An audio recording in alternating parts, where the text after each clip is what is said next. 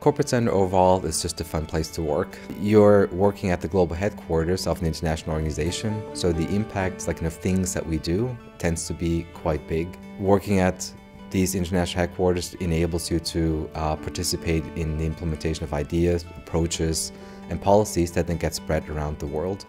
Sometimes we even get to do things you know, that haven't been done before. For example, recently we've introduced a new way of pricing our products that was met with some resistance at first. Eventually it was very successful and had also a lot of support from senior management, which to me also shows the overall support that senior management has for ideas that are new, ideas that can change like you know, the way we do business, and like ideas that can change who we are.